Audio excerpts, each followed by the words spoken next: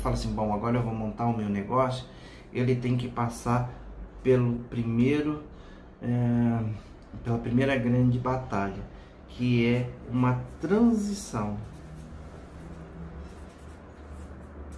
Você tem que migrar do seu hoje para o seu sonho. Seu sonho? É. é. Qual que é seu sonho? Ser um profissional liberal, independente? Esse é seu sonho.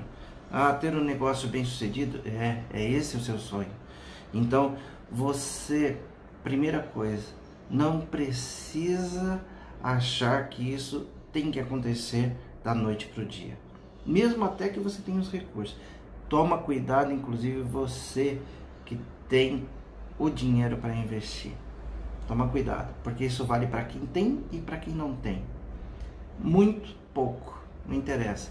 Seja consciente, porque se alguma coisa der errado nessa transição ou se ela for agressiva demais, ela pode acabar com o seu sonho e acabar inclusive com a sua expectativa de vida profissional.